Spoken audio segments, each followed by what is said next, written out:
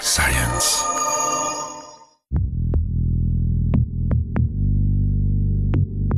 Inauguré en mars dernier, ALMA, soit le vaste réseau d'antennes submillimétriques, est le nouveau grand télescope qui se dresse dans le désert d'Atacama au Chili. Il vient de commencer sa moisson d'informations sur les marges de l'univers. 66 antennes paraboliques parfaitement synchronisées sont ainsi tournées vers un nouvel horizon à base d'ondes très courtes.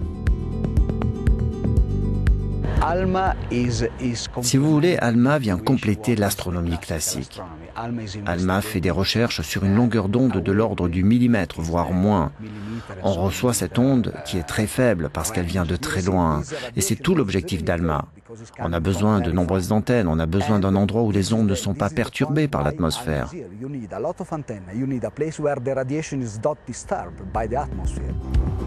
Avec ce télescope qui est un projet international, les chercheurs sont actuellement en train d'étudier la mystérieuse formation d'étoiles géantes, mais aussi la collision de comètes, la naissance de systèmes planétaires, la fusion de galaxies.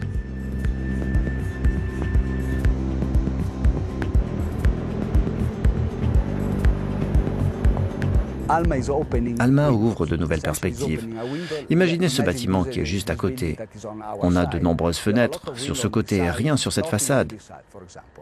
De ce côté, on a un mur et Alma ouvre une fenêtre sur ce mur et on découvre alors qu'il y a un nouvel horizon.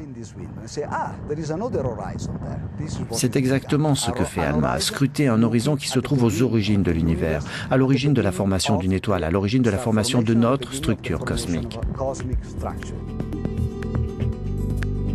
Le coût du projet dépasse le milliard d'euros, un projet lancé il y a près de 20 ans désormais.